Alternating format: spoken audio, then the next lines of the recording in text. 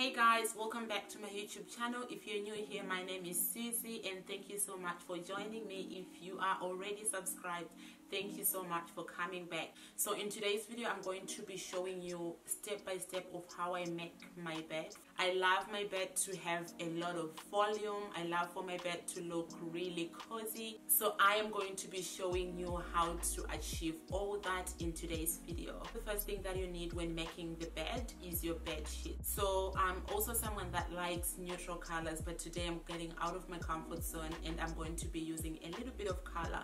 So I thought for me to achieve a bit of color, I would use um, a different color sheets compared to what I normally use.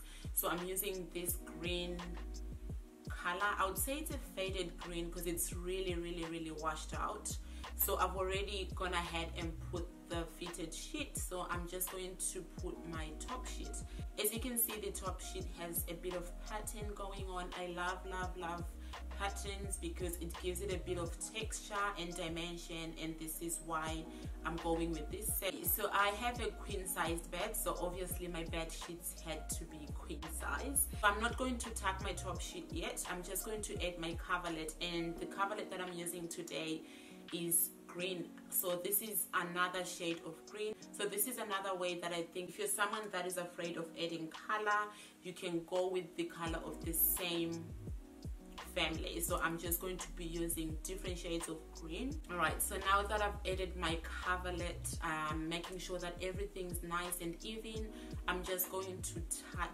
everything so with my corners i really love love love love doing that hospital corner or envelope corner whatever you prefer to call it this is something that I do every time I make my bed. I find that this helps to make the bed look more elegant and it keeps your it keeps your bedding in position. If you'd like to see how to achieve a perfect hospital corner, just let me know in the comments and I'll just do a quick video just dedicated on making the corner. Okay, so now that the corners are tucked, I am just going to fold the top part of the bed. So I'm just going to fold my coverlet together with my top sheet. After everything is nicely folded, I then tuck in both sides to reveal that pattern that's on the top. Now that everything's nice and tucked, I'm just going to go ahead and add my quilt. The quilt will help with giving the bed that feel of coziness and give it lots of volume and lots of dimension. So the other tip I do with my quilts or coverlets, I go with the king size Just go a size up. So if you've got a double bed just go for the queen size and if you've got a queen size bed just go for the king size quilt. And also the other thing that I like to do to give my quilt lots of volume is to put two inserts. But now that it's getting really warm I just put one insert but we are still going to achieve that volume by folding our quilt. So this is what you need to do. You need to pull your quilt all the way to the end of the bed fold it in half and then fold it into another half I don't know if that makes sense but you just do what I'm doing in this video Moving on to pillows. For the pillow that I actually sleep on, I like to use a satin or silk pillowcase. In today's video, I'm using a silk pillowcase from my house. I love this because it really protects my skin and my hair. And for all the other pillows, I'm using my pillowcases that came with the quilt cover. So with your pillows, you would like the opening to face inside so that it looks really nice and tidy. Then I'm also just going in with my European pillows.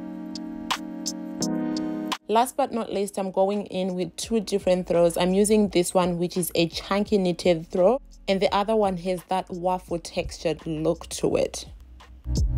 I really love adding those because they add that final touch of texture and a layered look. As you can see, I've got all different textures on my bed.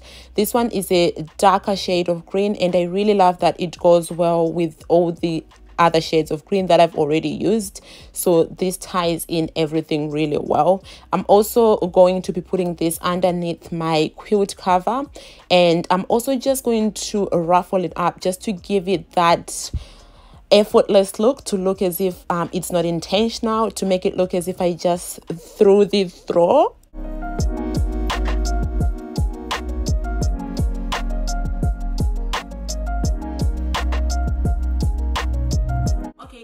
that's how I make my bed. I hope you really enjoyed this video. If you enjoyed the video just let me know in the comments below.